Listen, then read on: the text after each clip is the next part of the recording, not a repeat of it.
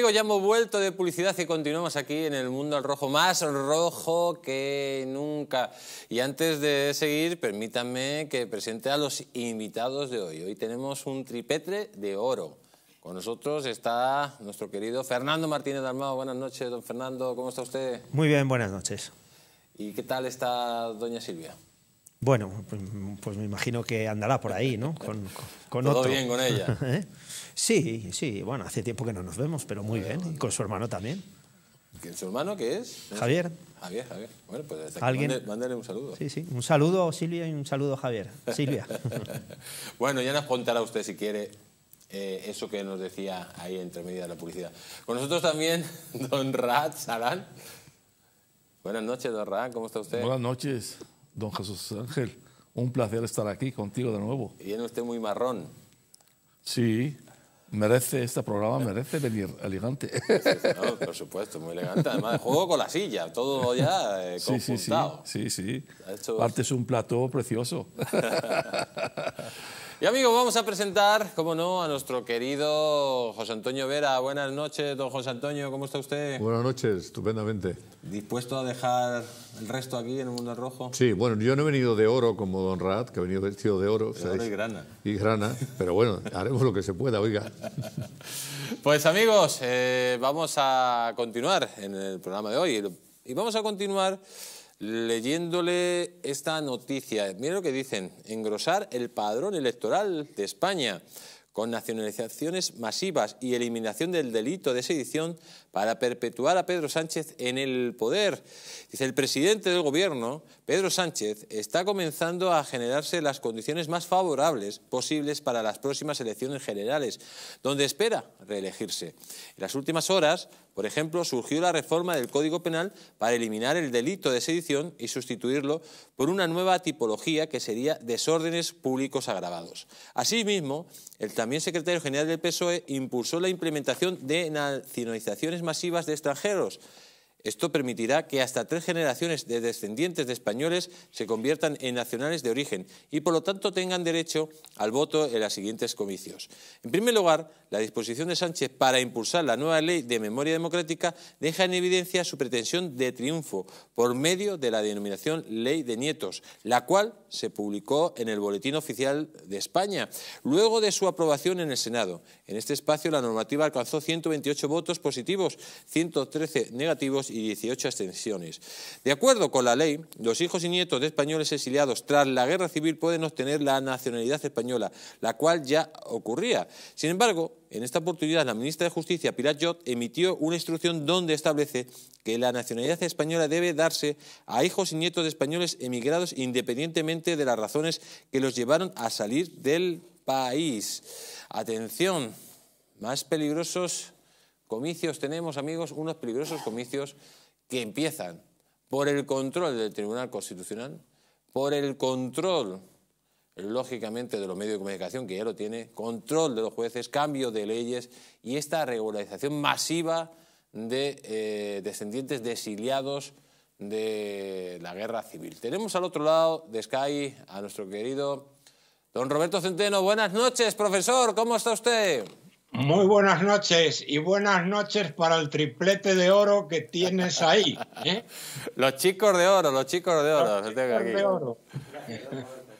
Don, Roberto, eh, está, es evidente, ¿no? Eh, quiere llenar el padrón, nacionalizaciones masivas. El otro día salía que casi en 21 días se habían conseguido nacionalizar determinadas personas cumpliendo estos requisitos de esta nueva ley y además eh, eliminación del delito de sedición que lo que pretende pues, está casi a la vista no solo es preparar un nuevo golpe de Estado, eh, sino que además el señor Sánchez pretende asegurarse el apoyo de todo el nacionalismo y de todo el independentismo, ¿no?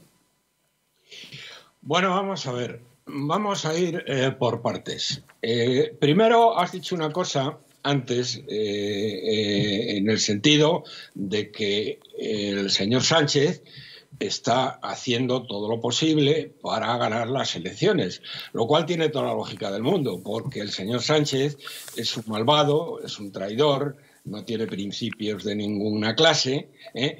Eh, pero de tonto no tiene un pelo. Sin embargo, eh, estáis o se está desenfocando en general eh, el tema mm, con cuestiones menores. Y la cuestión más importante ¿eh? Que voy a describir hoy en el programa eh, no se ha mencionado por ninguna parte. Porque es bien cierto, es bien cierto que el, dar posibilidad de votar a los hijos de inmigrantes, eh, pues añade votos, al- le añade votos, pero le añade muy poquitos votos. eh, porque miren, aquí hay en España, mm, para que tengamos las cifras claras y sepamos de qué estamos hablando, hay 27 millones de personas con derecho a voto, de las cuales suelen votar como 20 millones. ¿eh? Bien, aquí de qué estamos hablando? Pues estamos hablando aproximadamente eh, de unas 200.000 personas, de las cuales vaya usted a saber cuántas van a votar y cuántos ya les importa a los nietos, por ejemplo, de antiguos republicanos, les importa un pimiento eh, toda esta historia. O sea que de 200.000, pues si votan 100.000, pues eh, serían muchos. Pero claro, es que 100.000 eh, no es nada, no es nada, es una cantidad ínfima. Otra cosa distinta, pero también pequeña a pesar de todo, es eh, correos.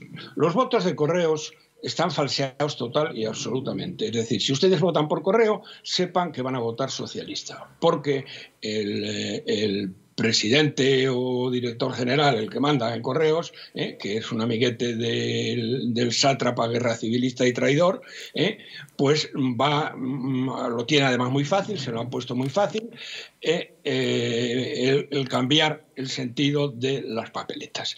Pero mm, el, el tema con el que va a ganar de verdad, con el que pretende ganar de verdad, de verdad, las elecciones y las va a ganar, es otro muy diferente.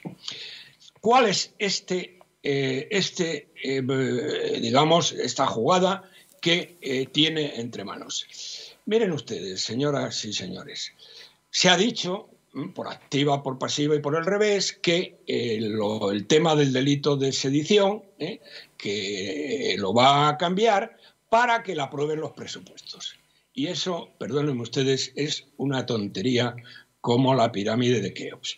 Porque el señor Sánchez, el señor Sánchez no necesita realmente que le apoyen ni RC, ni, los terroristas, ni los golpistas, ni nadie, ¿eh? para el tema de aprobar los presupuestos. Con otra cosilla mm, mucho menor podría haberlo conseguido. Pero es que es más, si no lo hubiera conseguido, le da igual que le da lo mismo, porque lo prorroga un año más y aquí paz y después gloria. Entonces, lo que tendría que pensar la gente, y no lo ha pensado, eh, es que un tío que es un tío, como digo, un auténtico malvado eh, eh, y un traidor a España, pero de tonto no tiene un pelo y le da 100 vueltas, por ejemplo, a la gente que tiene enfrente, ¿eh? Al señor Feijó, sin ir más lejos, mm, esto no lo hace. El, tema del delito de sedición, que le va a costar muchos votos, ¿eh? Eh, no lo hace por una gilipollez como los presupuestos. ¿eh? Él no arriesga sus votos por unos presupuestos que no lo necesita. Lo que pretende, y esta es la clave, es crear un frente popular. ¿Qué quiero decir con un frente popular? Con un frente popular quiero decir una lista única, una lista única con Podemos y con RC.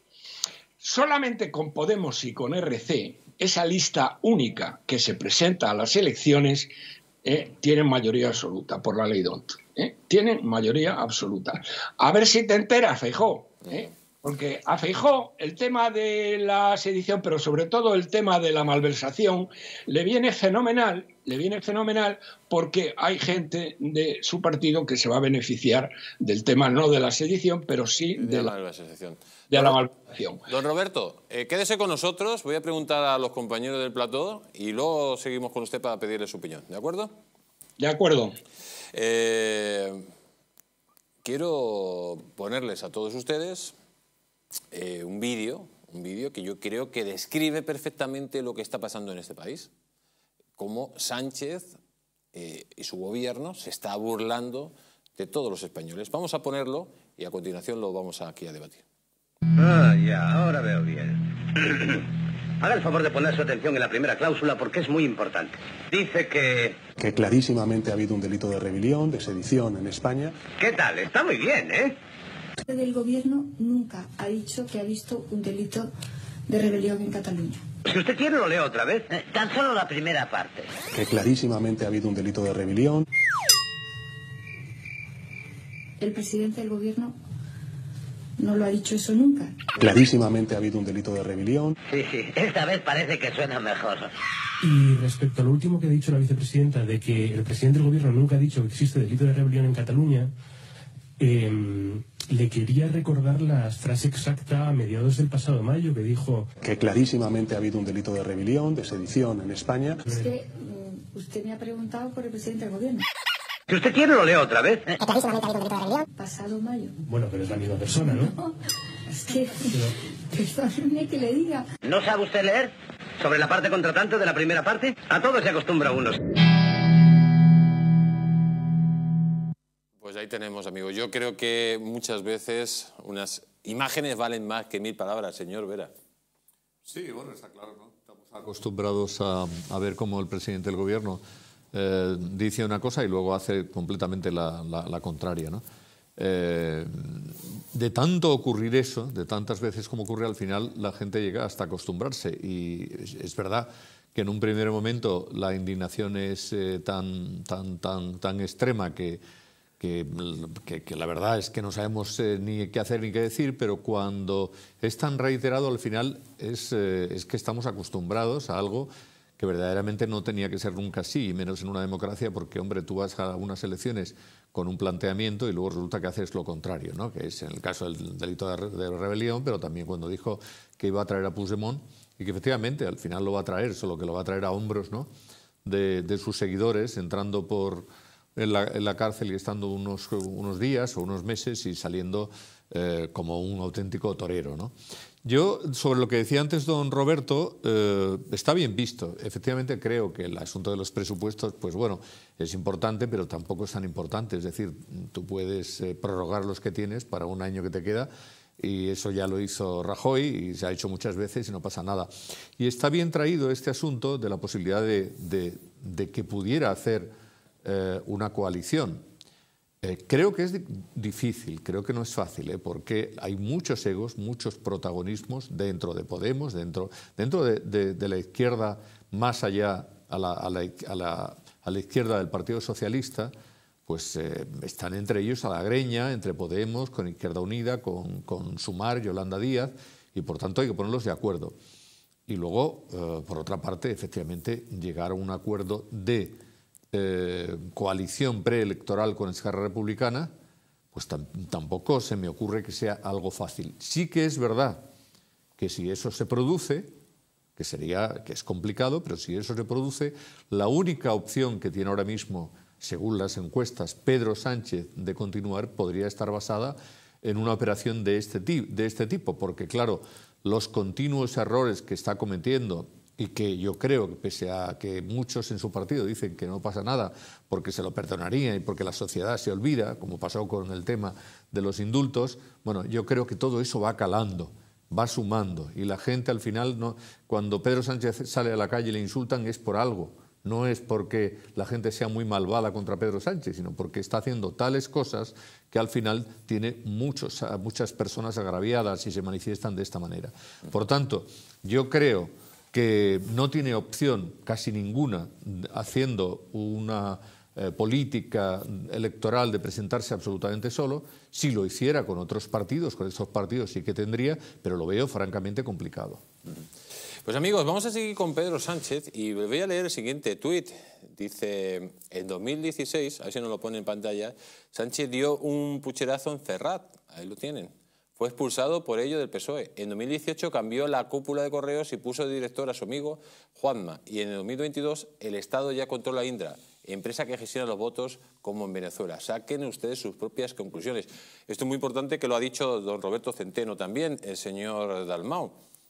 Eh, puede haber un próximo pucherazo en, eh, en, estas elecciones. Por eso Sánchez está tan tranquilo. Aparte de lo que decía don Roberto Centeno, de esa gran alianza entre Podemos y Esquerra Republicana para unir el voto eh, don, o mejor, no es mejor en toda España, pero sí en Cataluña, para arrasar en Cataluña, arrasarían prácticamente en Cataluña.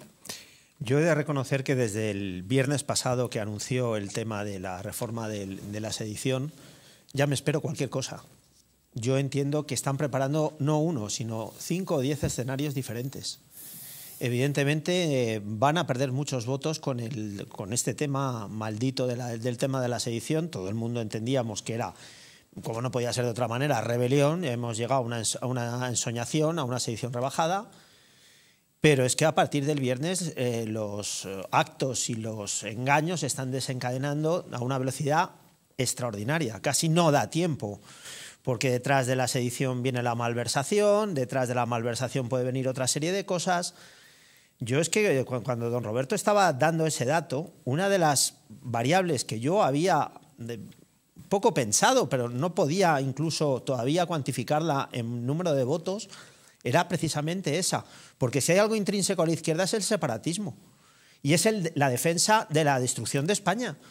Y eso es la, el ADN de, de, la izquierda. Entonces, ¿por qué no va este personaje... Suceder, ¿no? Claro, a, a, a, hacerlo. Acabar con España ya de una vez por todas, como, como lo está haciendo en este momento. Porque, claro, es que estamos a golpe de decreto ley constantemente, pero ya no sé cuánto tiempo llevamos. Porque es que son múltiples las leyes que han caído. O sea, la, ley de, de, de, género, que es una ley nefasta. La ley de memoria histórica, que es otra ley nefasta. ¿Cuántas leyes se ha gobernado aquí durante la pandemia por decreto ley? Luego ha sido ilegal. Todo, todo eh, esos decretos ley que no han sido avalados por el Parlamento. Y ahora llegamos, en este momento, llegamos a la sedición y a la malversación. ¿Qué es lo que va a ser lo siguiente? Entonces yo sí entiendo que no hay un escenario, sino que hay múltiples escenarios. Y en esos múltiples escenarios se va a mover eh, el señor Sánchez, por llamarle de alguna manera. Don Rat. Bueno, un poco más en la misma línea. Eh, y yo creo que el señor Sánchez es un traidor a la patria, porque quien perdona los traidores a la patria es un traidor. Y volvemos al vídeo que hemos visto de los hermanos Marx, pues recordamos la frase más conocida de Groucho Marx, cuando dijo, estos son mis principios, si no te gusta, pues tengo otros. Y este es Sánchez, porque Sánchez en realidad no tiene principios, ni tiene palabra. No vamos a decir un hombre, porque hay una frase que dice, un hombre se coge de, sus palabras, de sus principios. Vamos a decir el ser humano, hombre o mujer. Cualquier persona, no, cual, no solamente el político, cualquier ser humano tiene que tener unos principios y unas palabras para dirigirse. Y Sánchez está mostrando que no tiene ni palabra ni, ni principios, ni, principio. ni, siquiera principios socialistas. ¿ah? Pues, don Roberto, ya ha escuchado usted a toda la gente que está aquí en el plató, yo creo que hablan en la misma línea, pero yo eh, a usted le, le, he visto muy preocupado con el posible pucherazo que pueda hacer Sánchez, con ese control de Indra, con ese control del voto por correo, por, lógicamente, hemos hablado de las nacionalizaciones, que al final todo va sumando, Usted ha incluido un nuevo factor eh, en esta partida, que es una coalición Esquerra Republicana Podemos. Mm, si se va uniendo, va sumando poquito a poco, puede que, que eso tumbe, digamos, a un frente de, de centro o derecha. Y sobre todo, que los veo muy confiados a los líderes de derechas ante esa posibilidad de que haya una manipulación masiva del voto por correo y sobre todo de las actas de esas actas que controla Indra y luego sabemos que no hay recuento de actas, porque aquí la han denunciado la señora Barselga en multitud de ocasiones, que después de las elecciones no hay un recuento efectivo de las actas, sino que dan por válidas las actas de Indra. Con todos estos elementos, ¿qué puede suceder, don Roberto? Bueno, vamos a ver, vamos a ver, vamos a hacer matemáticas, ¿eh? porque yo soy de ciencias. Eh, eh, el, el voto por correo. El voto por correo son 400.000 votos. Pueden parecer mucho, pero es un 2% de los 20 millones que van a votar. Eh, este es un tema que lo pueden mm, atajar eh, los señores del Partido Popular y los señores de Vox, que no lo han hecho en otras ocasiones y probablemente no lo van a hacer. Pero no es decisivo. ¿eh? A pesar de que todas las sacas que vengan de correos sean del Partido Socialista, que lo serán, que lo serán, lo fueron en Andalucía, por ejemplo, y a pesar de todo perdieron porque, como digo, a pesar de todo es un 2%. lo de los eh, hijos de republicanos, pues es una cuestión menor. El tema de las actas que las contabiliza Indra. Bueno, las, lo hace Indra, pero es que eh, tanto el PP como Vox tienen copia de todas las actas de todos los colegios electorales ¿eh? y nunca se han tomado la santa molestia de sumarla a ellos. Es decir, que Indra puede hacer trampas si estos mentecatos, porque no se les puede llamar de otra manera, no suman ellos las actas. Porque ellos tienen las mismas actas que Indra. Indra lo hace automáticamente, pero ellos lo pueden hacer con un lápiz y un papel y una máquina de sumar. ¿eh? Y no lo hacen, y no lo hacen. Pero fíjese, fíjese usted lo estúpidos y los cretinos que pueden llegar a ser, en este caso concreto, eh, bueno, los dos, tanto, mm, tanto Abascal como, eh, como el número uno de, mm, de, eh, Bien. Tema de sedición. Si este eh, si este eh, iba a decir otra palabra, pero como no le gustan las palabras gruesas, pero es que hay que decir a veces las palabras gruesas, pero no la voy a decir en honor suyo. Si este señor mm, eh, presentara una moción de censura, a ver si te enteras, Feijó. Si tú presentas una moción de censura, lo que consigues con la moción de censura es retrasar el proceso de eh, declaración o de toma de decisión o de discusión en el Parlamento eh, eh, del tema de la sedición. Y cuanto más aproximes, fijó, a ver si te enteras, cuanto más aproximes el momento de discutir en el Parlamento la traición de la sedición y la traición de la malversación, que a ti te importa poco porque hay amiguetes tuyos que salen favorecidos. ¿eh? Pero el tema de la sedición, más cerca de las elecciones lo hagas, más cabreada estará la gente y más impacto electoral tendrá. En pocas palabras, Feijó, si tú en vez de decir en vez de decir, es que a nosotros, que somos muy chulos, ¿eh? no nos dice ni Vox ni Ciudadanos, pobrecitos, lo que queda, lo que tenemos que hacer. Sí, pero es que lo que tienes que hacer no lo haces. ¿eh? Explícame, Feijó, ¿por qué narices no presentas una moción de censura? ¿Sabes qué consigues con eso? ¿Eh? porque es que pareces tonto. Pues retrasar probablemente dos meses o incluso dos meses y medio ¿eh? el que se debata en el Parlamento el tema de la sedición.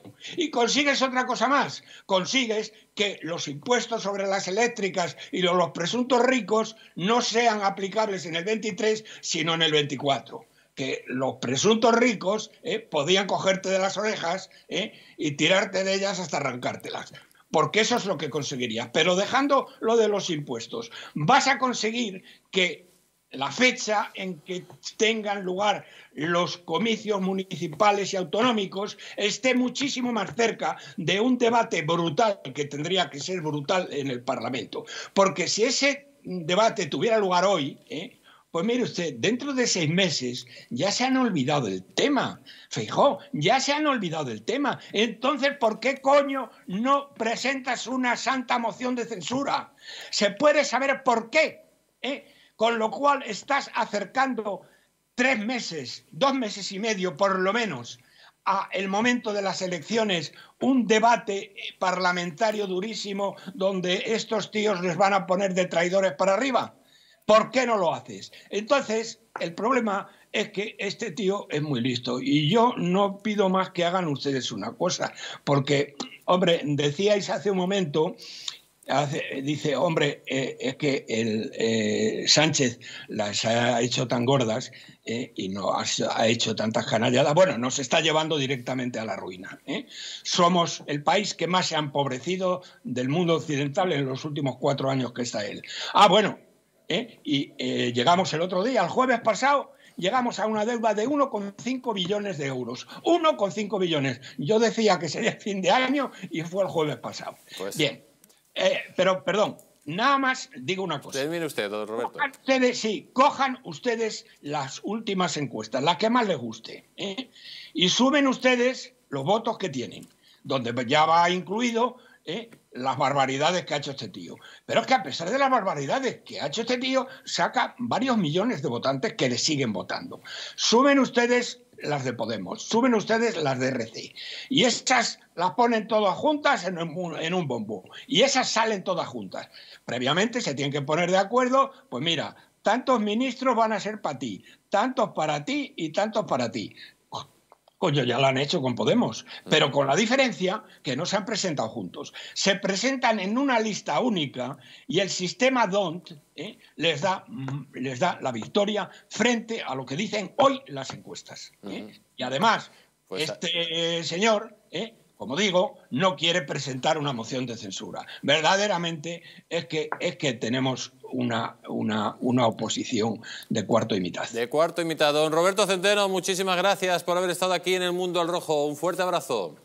Otro para vosotros y para el trío de la benzina. Pues ahí queda, queda ese saludo de don Roberto Centeno. Yo quiero ponerles, amigos, eh, después de que Pedro Sánchez haya quitado el delito de sedición, quiero ponerle el siguiente vídeo de Su Majestad el Rey, pues donde denunciaba el golpe de Estado que estaba dando en Cataluña. Y bueno, pues también ponerle lo que dice la Constitución. La Constitución dice que Su Majestad el Rey tiene que defender las leyes ante, ante cualquier infracción. Escúchenlo. Todos hemos sido testigos de los hechos que se han ido produciendo en Cataluña, con la pretensión final de la Generalitat de que sea proclamada ilegalmente la independencia de Cataluña.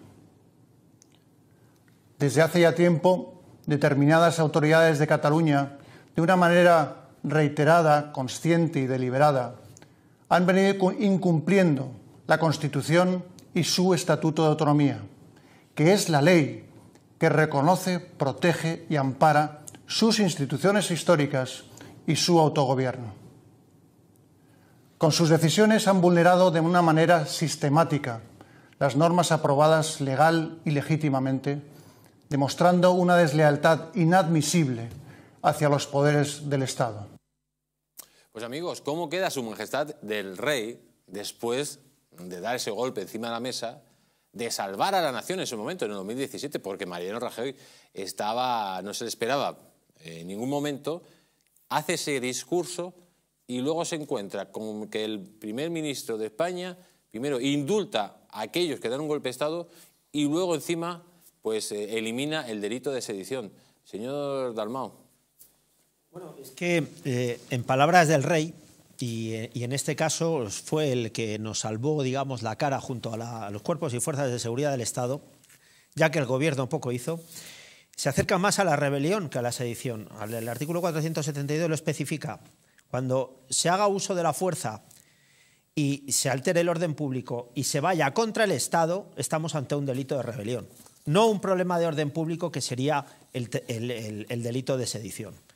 Pero bien, hemos tenido la sentencia 459 del 2019 con el ínclito Marchena, etcétera, etcétera, donde se juzgó, y tenemos que acatarlo, no tenemos más remedio que acatar esa sentencia, y se juzgó por, por una sedición rebajada, lo que he dicho antes, la ensoñación.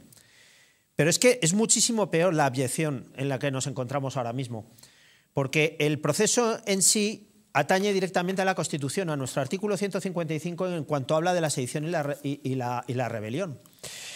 En cuanto habla del artículo 62, que es el poder que tiene el rey, repito, el poder que tiene el rey y el deber que tiene el rey de otorgar los indultos. Es él quien tiene que, que, entregar y otorgar esos indultos, que es el artículo 62 de nuestra Constitución española.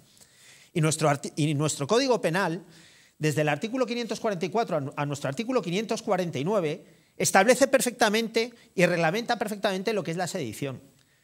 Todo esto avalado por este, eh, esta sentencia de nuestro Tribunal Supremo, que es al mismo tiempo conformada por nuestro Tribunal Constitucional y avalada por nuestro Tribunal Constitucional, referente al tema de la sedición. Esto es el marco jurídico que se ha saltado este señor.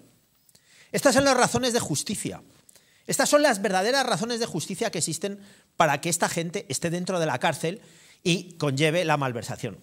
Pero también hay unas razones de equidad muy importantes. Primero, ya lo he dicho, la sentencia de nuestro Tribunal Supremo, voy rápido. Segundo, eh, por parte de nuestro Tribunal Constitucional, la validez de esa sentencia de nuestro Tribunal Supremo. Nuestro Código Penal, repito, del 544 al 549 y la, y la, Constitución española en aplicación directa del artículo 155 hablando de sedición y rebelión. Y de utilidad pública, repito, por razones de justicia, de equidad y de utilidad pública. Y de utilidad pública en cuanto el arrepentimiento de esta gente tiene que ir en conforme a la reparación del daño causado, referente a la malversación y referente a la responsabilidad civil por las condenas penales que tienen en, atribución a nuestro Código Penal, artículos 544 al 549. Y, y, por encima de todo está nuestra Constitución y nuestro artículo segundo que habla de la unidad nacional. Junto con el rey, la unidad nacional. Esto es lo que teníamos que haber defendido. Y esto es el verdadero marco jurídico que, nos hemos dado nosotros los españoles para preservar nuestros derechos y nuestra nación.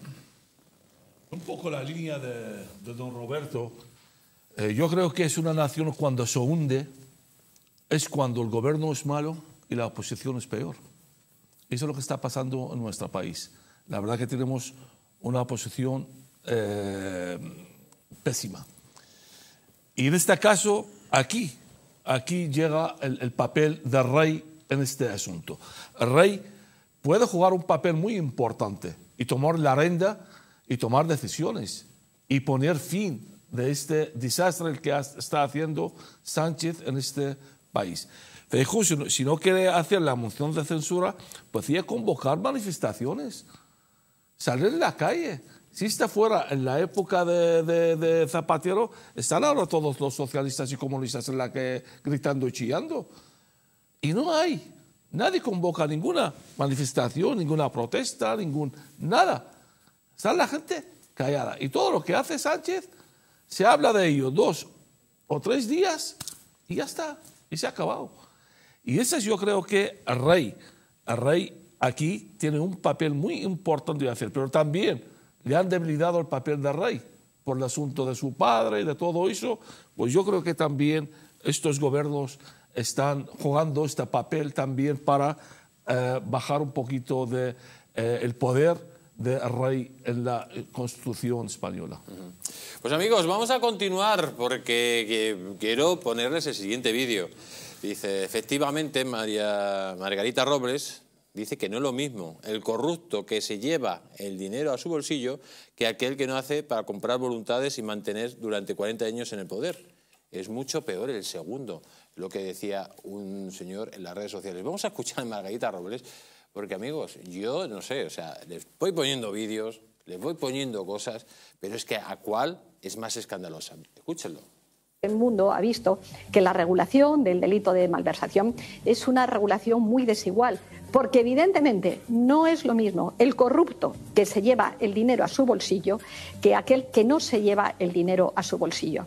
Y en este momento la regulación que hay es una regulación que es igual y que por tanto no es justa. Yo no sé qué regulación va a haber, si finalmente se va a presentar esa enmienda y si finalmente eh, eh, se va a aprobar esa enmienda o no. Pero lo que sí que está claro, y eso se lo digo como jurista, como persona que ha tenido que aplicar incluso el tipo de penal de malversación, todo el mundo sabe que no es igual el corrupto que se lucra personalmente que el que no se lucra personalmente. Y ahí vamos a ver cómo, cómo funciona la, la enmienda, lo que hay en la enmienda. Ahí está el debate parlamentario. Pues ahí tenemos a Margarita Robles diciendo estas barbaridades, amigos. Qué barbaridad jurídica que diga esto una señora que ha sido juez. Señor Vera, es sus oídos, lo ha escuchado y todavía se cree que un juez y un ministro de España sea capaz de justificar la corrupción al máximo nivel, como está justificando. Bueno, yo creo que el, gobierno ahora, después de hacer el, el tema de la sedición, eh, quieren enfocar el asunto de la malversación pues para, para salvar a Griñán, ¿no? que es la persona que, que ellos eh, tienen mucho interés desde todo punto de vista y desde todos los estamentos del Partido Socialista, pues empezando por los antiguos del Partido Socialista, como pueden ser Felipe y, y Guerra, y continuando por los que están ahora y todos los intermedios. ¿no? Entonces, eh, ellos vienen insistiendo muchísimo en esta diferenciación, que afortunadamente se hizo en su día una reforma pues, para que, en efecto, se considere igualmente el tema de la malversación en todos los casos. Es decir, si te lo llevas, eres un corrupto y te lo has llevado y eres un ladrón. Y si has eh, cogido un dinero que estaba destinado a un fin y lo has puesto en otro, como por ejemplo la independencia de Cataluña, pues es un asunto igualmente grave, gravísimo. Por tanto, eso en su día, esa diferenciación se acabó eh, y ahora mismo no existe. Pero como tienen el problema, por una parte, de Esquerra, ¿no? que Esquerra tiene 20 o 30 personas, según como lo contemos, que están eh, implicadas y que pueden ser condenadas por un tema de malversación. Entonces, claro, el problema está en que ya en Podemos y en otros aliados de la izquierda están diciendo están diciendo, oiga, es que esto no lo vemos nada claro. Y Esquerra dice, tampoco, efectivamente no lo vemos nada claro. Y entonces lo que quieren es que se diferencie de tal manera que solo puedan ser, se les pueda aplicar esa benevolencia en lo que se refiere al delito de malversación, por ejemplo, a los de Esquerra, solo a los de Esquerra, ¿no cree usted? Y al señor Griñán, a los del PP o a los de Vox si los hubiere, no. Y yo, me, yo me pregunto cómo se puede hacer esto, porque esto es imposible. Esto no se puede hacer desde ningún punto de vista, porque la ley no se puede retorcer para hacerla a la carta para beneficiar directamente a unas personas. Solo faltaría poner exactamente los nombres de las personas a los que quieren, en este caso, favorecer. Y efectivamente, pues es un tema escandaloso e igualmente grave que todo lo anterior que hemos comentado con relación, por ejemplo, al delito de sedición. Señor Dalmau. Es que, es una barbaridad jurídica lo que ha dicho Margarita Robles. Parece mentira que sea juez. La malversación, como el cohecho, eh, eh, son delitos de la administración pública eh, en, lo, que implica por parte de gente que trabaja en la administración pública. ¿Y qué es lo que implica? Apropiarse o utilizar de manera fraudulenta, apropiarse fondos públicos. Punto. Da igual el destino. Si es el hecho, estamos enjuiciando hechos, es el hecho de apropiarse o utilizar fondos públicos de una manera que no van a la, a la administración pública. Y, que, y, lo evidente es que está Colau, está Oltra, está Laura Borrás, están acusadas de malversación también, está Puyol, está Griñán, está toda la izquierda acusada de malversación. Porque es consanguíneo a la izquierda el robar arcas públicas. Y por, por acabar, decir que es que el, el, el cohecho en sí mismo, como la sedición, entramos en la abyección de acabar con esos delitos, como muy bien decía eh, Vera, con el hecho de hacerlo a la carta y por decreto ley. Pero ¿dónde se ha visto esto? ¿Pero qué abyección eso? ¿Qué atentado directo a nuestros derechos y libertades fundamentales? ¿Qué atentado más directo a nuestros derechos y libertades fundamentales? ¿Quién va a ser el garante de nuestros derechos y libertades fundamentales? ¿Este gobierno que pacta con terroristas y que legisla la carta de gente que comete delitos de sedición y de, y de, malversación, ya veremos si de cohecho. Pues amigos, en todas estas malas noticias tenemos una muy buena noticia. Somos conscientes que el señor Joaquín Sabina nos ve y, y le hemos convertido, le hemos convertido. Ha visto la luz como San Pablo. Escúchenle, escuchen lo que dice. El fracaso del comunismo ha sido feroz. La deriva de la izquierda latinoamericana me rompe el corazón justamente por haber sido tan de izquierdas. Ahora ya no lo soy tanto porque tengo ojos y oídos y cabeza para ver lo que está pasando y es muy triste lo que está pasando. Pues bienvenido, don Joaquín, bienvenido a, al lado bueno de esta película. Vamos a cambiar de tema, vamos a cambiar literalmente de tema y vamos a hablar de lo que ha pasado eh, en esa guerra de Ucrania, ¿no?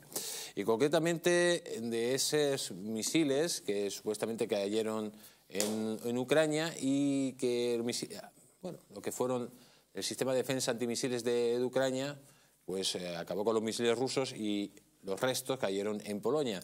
Vamos a escuchar uh, lo que dice la OTAN, que es culpa directamente a Rusia del ataque deliberado por un misil caído en Polonia. Escúchenlo.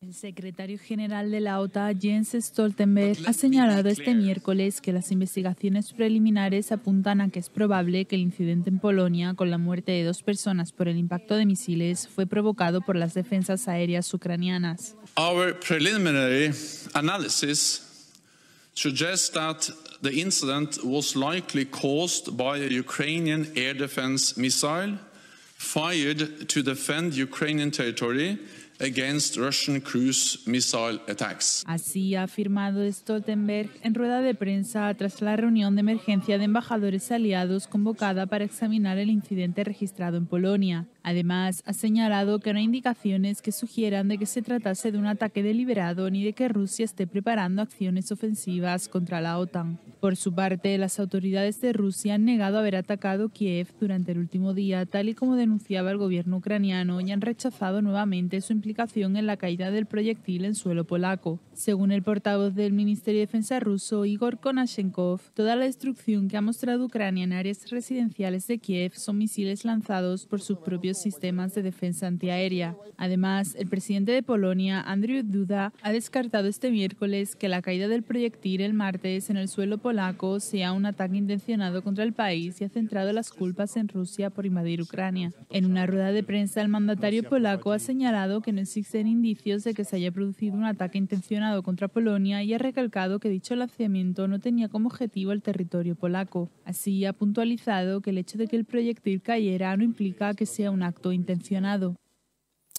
Pues amigos, lo han escuchado usted bastante claro. La OTAN no quiere llevar el conflicto a más a más. Eh, y sin embargo, el psicópata de Zelensky pues quería, eh, echaba la culpa directamente al ataque de Rusia y no a su sistema antimisiles. Tenemos al otro lado de Sky a Enrique Refollo. Eh, buenas noches, don Enrique, ¿cómo está usted? Muy buenas noches, mucho gusto, un gran saludo a todos los presentes ahí en la mesa, a todo el equipo y a toda la audiencia. Eh, don Enrique, usted que ha estado allí directamente, que tiene conocimiento, eh, ¿verdaderamente lo que ha pasado en Polonia ha sido un accidente? Eh, y verdaderamente la OTAN, aunque hubiera sido un ataque deliberado, la OTAN hubiera, hubiera intervenido abiertamente en esa guerra de Ucrania. ¿Y qué hubiera supuesto eso para el conjunto de la humanidad? Bueno, pues eh, este es un tema que desde luego se sigue desarrollando porque tiene, tiene espacios vacíos. Eh, hablaban de dos misiles eh, que habían caído en suelo polaco, pero claro, ¿qué dos misiles? ¿Dos S-300 antiaéreos ucranianos o un S-300 ucraniano y restos de un misil ruso? ¿De dónde venía el misil ruso? ¿De dónde se lanzó el misil ucraniano? Son, digamos, temas que quedan ahí en el aire que todavía no he encontrado fuentes que den eh, respuesta corroborada. Por otro lado, eh, sí que encontré una fuente en la que dicen que precisamente una batería Patriot estadounidense de la OTAN en, esa provincia de Lublin, perdón, y, eh, y en la del sur, donde tienen radar y batería antiaérea, ahí fueron ellos los que tiraron ese segundo misil porque detectaron el misil ucraniano que venía hacia ellos, que venía al cruce de la frontera ucraniana. Entonces, ¿eso qué significaría? Que la incógnita volvería a quedar en el lado ucraniano. Es decir, Enrique, eh, ¿estaría usted hablando de que supuestamente puede que haya habido un ataque deliberado de Ucrania a Polonia para, para provocar la entrada de la OTAN en el conflicto? A priori no deliberado, sino que simplemente eh, venía un misil ruso, lanzaron sus S-300 y uno de ellos acabó yendo en dirección eh, a Polonia. Pero la cosa que todavía no he encontrado en ninguna parte y sería lo, más esclarecedor del asunto es de dónde venía el misil ruso, porque Estados Unidos, la OTAN, tiene un radar de primera en esa zona de Polonia y una batería antiaérea, Patriot. Es decir, sabrían exactamente de dónde venía el misil, cuál es su dirección y de dónde se lanzó eh, los misiles ucranianos, porque sin eso, que todavía no he encontrado en ninguna parte, pues no se puede resolver el caso. Es la, la, gran incógnita del asunto, es de dónde venía uno, de dónde se lanzó el otro, o cuántos se lanzaron, cuántos venían hacia Ucrania, hacia qué objetivos presumiblemente, y cómo es que ocurrió eh, la cuestión final. Es decir, eh, cayó un misil ucraniano que venía acompañado de, que de un misil ruso, pero si fuera así, eh, ya estarían diciendo desde ayer que efectivamente era un misil ruso el que venía allí.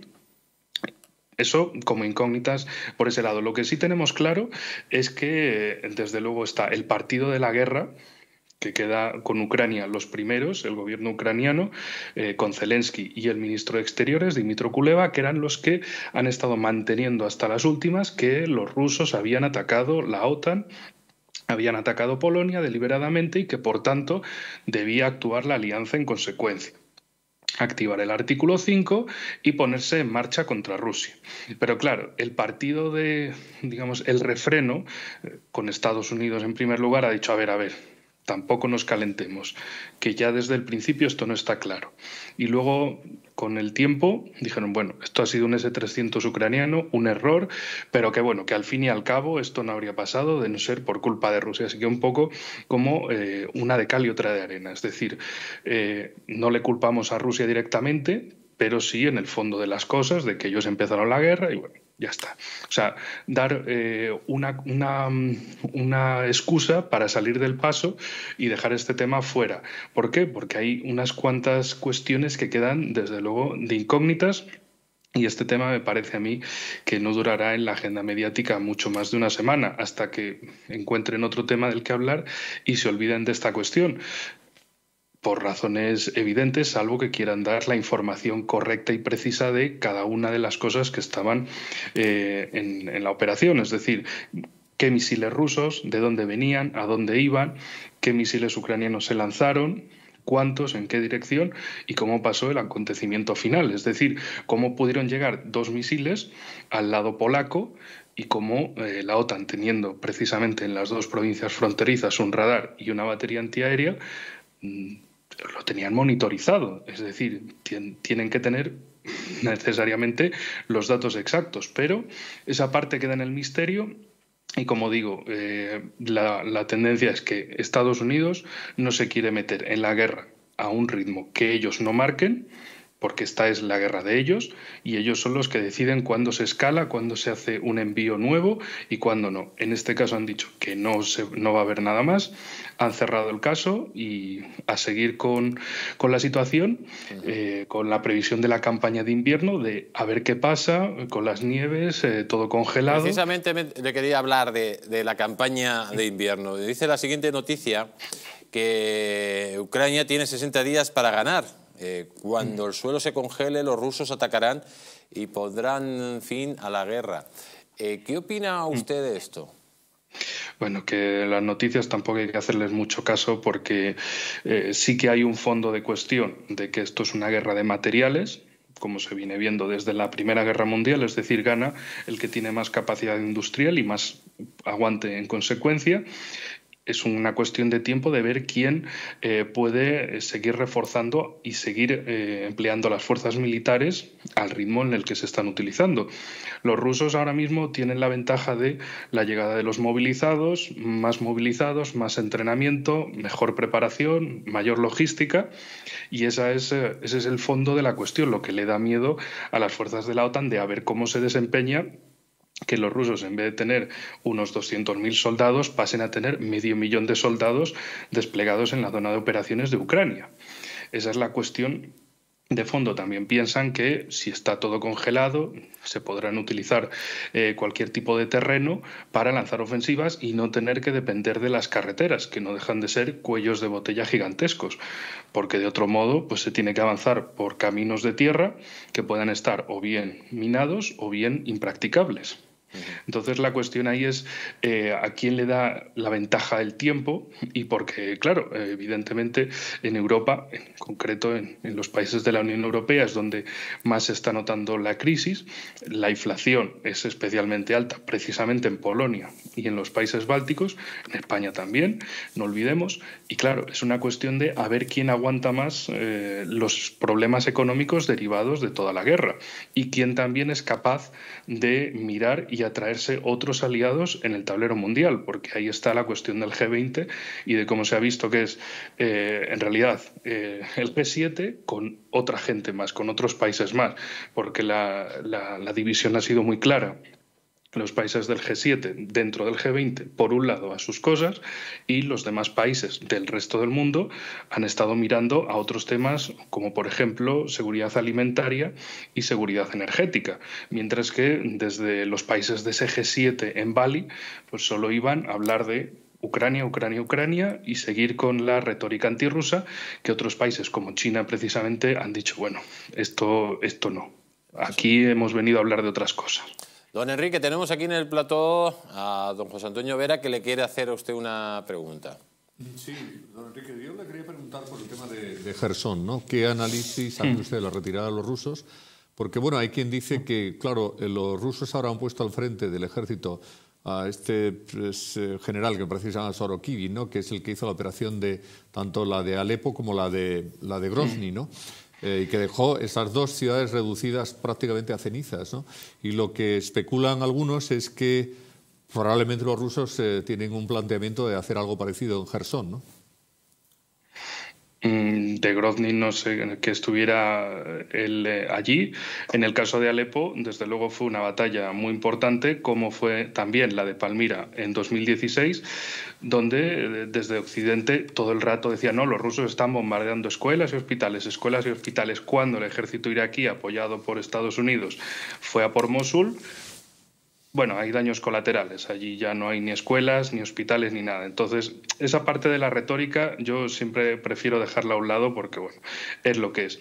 Por el lado de, la cuestión de la, ribera norte o la margen derecha del Dnieper, los rusos lo que están haciendo es una guerra donde eh, mantener el territorio no es importante, mantener las Fuerzas Armadas es lo importante porque si pierdes las tropas, mañana pierdes el territorio. Pero si pierdes el territorio y no las tropas, van a poder luchar otro día en otro lugar. Y por supuesto, mantener la línea también del río Nieper más ventajosa, más sencilla, con una logística mejor y sin el miedo recurrente en el mando ruso a que se puedan quedar tropas suyas cercadas y tener una pérdida irremediable que no solo sería un golpe militar, sino un golpe propagandístico también. Y esa conjunción de elementos es lo que eh, más reparos les da y bueno, eh, cuando entró este general hace unos, unos meses, lo que dijo es que si había que tomar decisiones militares fuertes, aunque no fueran políticamente bonitas, él iba a tomar todo lo necesario. Algunos dijeron, bueno, esto a lo mejor significa la retirada de posiciones complejas como eh, esta parte de Gerson. Así ha sido y ahora lo que está en juego es... Eh, precisamente en la región eh, de al lado, al oriente, en la región de Zaporilla, ¿qué es lo que va a suceder? Porque, claro, eh, los rusos hace poco empezaron eh, una pequeña ofensiva en Pavlivka, dirección Ugledar, que ya han tomado Pavlovka o Pavlivka, en ruso ucraniano, y luego tanto un lado como otro está pensando en cómo van a dar y por dónde y con cuántas tropas una ofensiva, claro, los ucranianos hacia el sur, los rusos hacia el norte, porque es la zona evidentemente menos protegida, menos fortificada de todo el frente y la que mayor posibilidad tiene de tener un éxito para los rusos alcanzar el Dnieper por otro extremo, llegar a la, misma ciudad de Zaporilla, embolsar quizá por otro lado tropas ucranianas en Donbass. Para el lado ucraniano lo que quieren es eh, llegar en dirección Melitopol, la ciudad más importante en manos rusas en esta provincia también quizá en otra dirección hacia Verdiansk y con, muchísima, con muchísimo ánimo y tropas llegar hasta Mariupol, por otro lado, más al oriente. Es decir, que eh, a priori eh, Gerson queda más eh, olvidada, queda como un frente paralelo y ahora el centro de operaciones, el centro de gravedad está en Zaporilla. Don Enrique Refollo, muchísimas gracias por haber estado aquí en el Mundo al Rojo. Reciba usted un fuerte abrazo. Un gran abrazo para ustedes. Hasta la próxima. Que tengan muy buena noche. Igualmente. Don Rasalán, que levantaba usted la mano.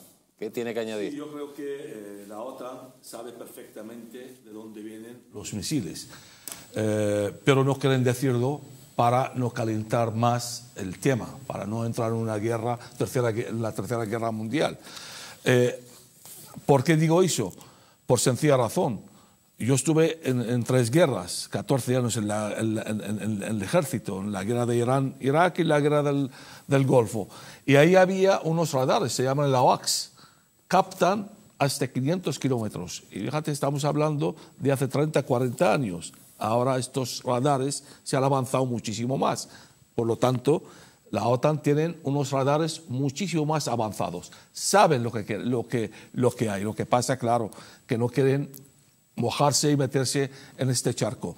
Dos, eh, yo eh, también eh, están hablando de que hay, hay, negociaciones para calmar la guerra y parar la guerra. Y le interesa también Rusia a parar la guerra. Porque eh, están diciendo que llevan un mes negociando Rusia con Estados Unidos y aparte hay al, algunos también em, reuniones entre China, India, Turquía y, parte de los militares rusos también para calmar un poco la guerra y pararlo.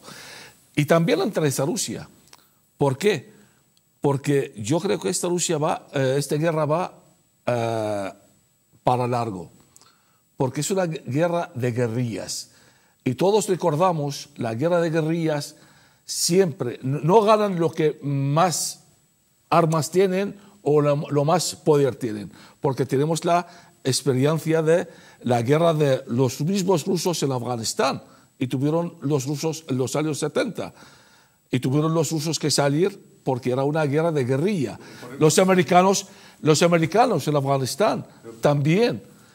Los americanos en Irak también. Pero por eso mismo el general este nuevo ruso que ha entrado, que tiene esa fama de haber sido el que ganó la guerra de Siria, etcétera, que es un tipo no duro, sino extremadamente duro, algunos le llaman el carnicero, ¿no?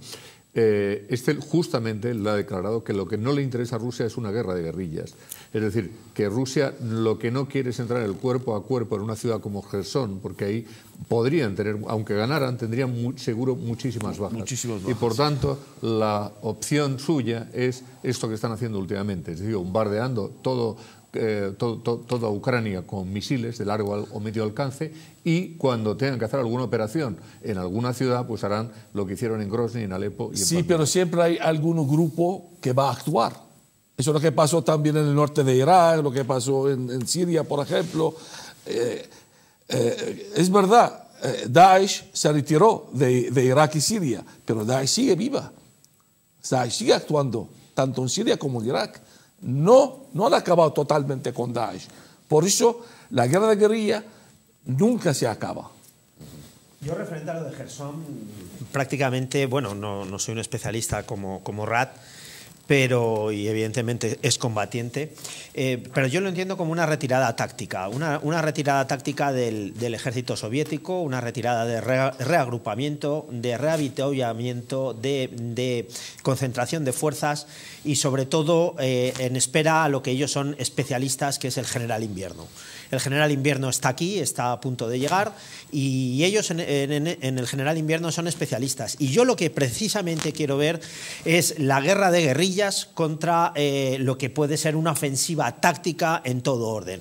Es precisamente esto que estamos hablando, eh, que siempre hemos eh, visto, ¿no? lo que es un ejército convencional, un ejército táctico, un, ejército absolutamente equipado contra una guerra de guerrillas que en este momento pues, se hace la ilusión que está entrando en Gerson y que va a poder mantener la, eh, Gerson directamente con, con, con, con lo poco o, o, nada que tiene. ¿no? Y referente a lo primero, eh, evidentemente que nos están engañando, nos están mintiendo y nos están manipulando. Nunca vamos a saber de cuál es la procedencia y por qué ha pasado lo del misil. Este. Yo, yo, yo, creo que, que, la OTAN sabe perfectamente qué claro, es lo que ha pasado con, claro. con esos misiles sí.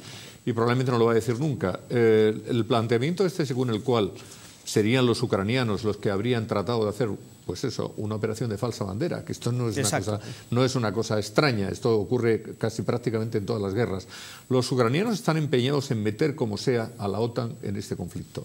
La OTAN ya está metida, porque les está aportando pues, todo tipo de material y, bueno, y los propios eh, mandos americanos y británicos están allí en, en, la zona de operaciones. Pero lo que quiere Ucrania es que la OTAN se implique directamente en esa guerra, que es lo que la OTAN intenta no hacer porque sabe que eso es una escalada claro, que puede no una, tener retorno. Una, y que empiezas de una determinada manera, pero terminas, en el caso de Rusia, terminarían probablemente usando las armas nucleares. Pero claro, hay que tener en cuenta, Zelensky ya dijo, la OTAN debe hacer un ataque preventivo nuclear contra Rusia. Esto es una barbaridad, una barbaridad. Pero Zelensky está empeñado en eso. La operación que se hace contra el Nord Stream es una operación que se hace para enervar a Europa, para que Europa al final pues, se, se enfade muchísimo porque deja de tener el suministro del gas y se ponga todavía más dura contra, con, con, contra Rusia. Y esto del misil, parece una cosa extraña, pero es que es muy extraño, que esto lo ha explicado perfectamente don Enrique en su intervención. No, teniendo, no es teniendo el sistema de, de- de- de misiles, antimisiles y teniendo los radares, ya sabes lo que ha pasado. Y perfectamente entiendo que al señor Zelensky y sus generales, que lo que quieren es implicar a la OTAN, Hay- pudieran haber hecho una operación de este tipo para tratar de provocar. Lo que pasa es que los americanos dicen, cuando haya que entrar ya entraremos nosotros, pero no nos va a llevar este Zelensky a un lío que nosotros no tenemos No, no, no, en este no se momento. extrañe de los misiles, porque hay dos hipótesis. Primero, o el payaso eh, de Ucrania que ha mandado este misil para meter la OTAN en la guerra, esta es una hipótesis. Y la segunda, un error, un error de la guerra, porque nosotros cuando estuvimos ahí la guerra de Irán-Irak, caían misiles a la frontera de Turquía, a la frontera de Siria, a la frontera de Irak. Porque en la guerra pasa eso. Claro, las bueno, fronteras están ahí. En la guerra de Yugoslavia los, Por los eso- americanos bombardearon por la eso, embajada pues china. estas dos, dos hipótesis lo más Sí, pero es que más llevamos dos de lógica. dos, porque llevamos el, el sabotear precisamente el, el Nord Stream y, precis- y lo del misil. Es que parece hecho a posta.